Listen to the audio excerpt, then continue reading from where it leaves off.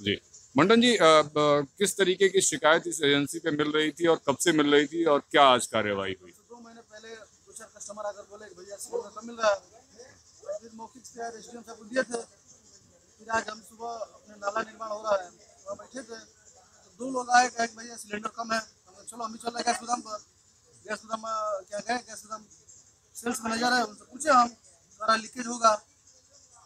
Leakage होगा तो तुमको देना नहीं चाहिए सिलेंडर। तब तक हमने डीएम साहब को फ़ोन किया। डीएम साहब बोले, हम जाँच टीम भेज रहे हैं। डीएम साहब को फ़ोन किया कोतवाल साहब को फ़ोन किया।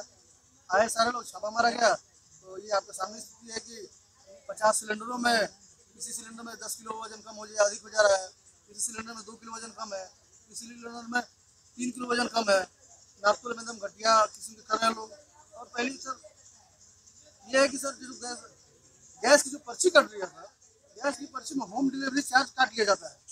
और यहाँ पर एक भी व्यक्ति को होम डिलीवरी चार्ज जो आ- कटा है पर्ची अगर गैस गोदाम पर आकर लेता है उसको तीस रुपया हैंड टू कैश देना है।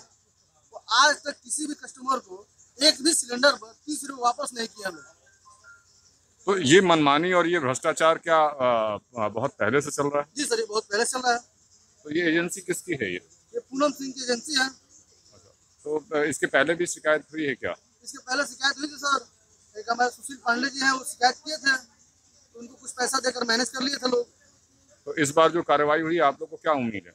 इस बार हम लोग उम्मीद है कि अच्छे से कार्रवाई होगी इनकी गैस एजेंसी सील किया जाएगा। और आज अच्छा दिन है कि संविधान दिवस भी है। सारे अधिकारी भी तहसील में मौजूद है। ठीक। Thank you